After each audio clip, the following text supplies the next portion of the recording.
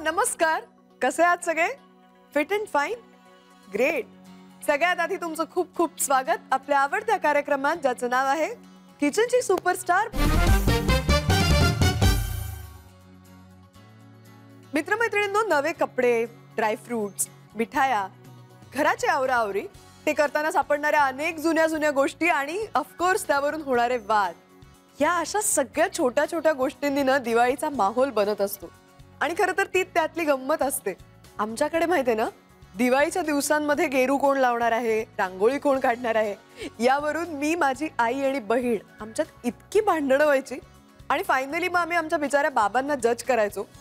बिचारेच ते म्हणजे कारण काय आहे शेवटी खिसा नेहमी त्यांचाच कापला जायचा.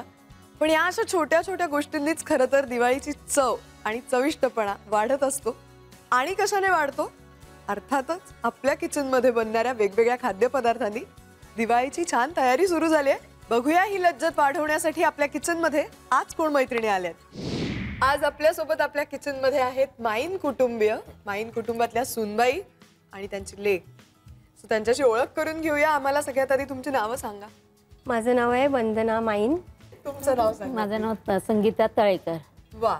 तुम्ही काय करतात मी घ- घरी राहूनच ब्युटिशियनचं करते. अम, घरातच पार्लर आहे अरे माझं वा. तुम्ही काय करता? तुम्हाला काय करायला असते. आवडतं? जेवण करायला आवडतं. अरे वा. सर्व पदार्थ.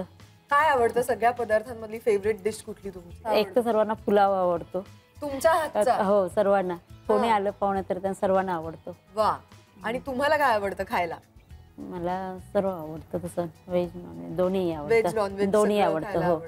पण मला असं दिसतंय की तुमच्या वयामध्ये तसा बराच फरक आहे. तरी सुद्धा तुम्ही खूप मैत्रिणी आहात एकमेकांच्या छान. हो. कसं काय जुळून आलं हे सगळं? ते ताईनी जुळवून आणलं. कारण हा. त्या माझ्याशी मला त्यांनी मी जेव्हा लग्न होऊन या घरात आले पहिल्यांदा तेव्हा त्यांनी माझ्याशी इतकं जमवून घेतलं आणि इतकं मला सांभाळून घेतलं. माझ्या चुकीसुद्धा सगळ्या त्यांनी सांभाळून घेतल्या. त्यामुळे मला एक मोठ्या बहिणीचा एक आधार मिळाला त्यांच्याकडून. आणि स्वयंपाकात पण कसं आहे मला मी करत होते स्वयंपाक पण मला इत- इतका जमत नव्हता. पण त्यांनी मला सगळं परफेक्शन दिलं. वा. तुम्हाला काय आवडतं यांच्यातलं सगळ्यात? ती सगळ्यांना सांभाळून घेते. व्यवस्थित सर्वांशी मिसळून राहते. कधीच भांडत नाही? नाही अजूनपर्यंत आमचं कधीच भांडण नाही झालं. एकदा पण नाही? नाही. पंधरा सोळा वर्षात तुम्ही एकदा पण भांडला नाही त्यांच्याशी? खरं सांगा.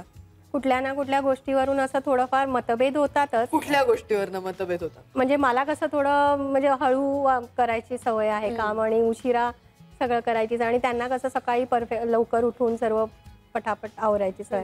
त्याच्यावरनं कधीतरी त्यांनी मला सांगितलं अगं तुझं अजून हे नाही काम आवरलं. मग त्याच्यावरून थोडंफार मग ते तुम्हाला आवडत नाही ते असं म्हणाल्या.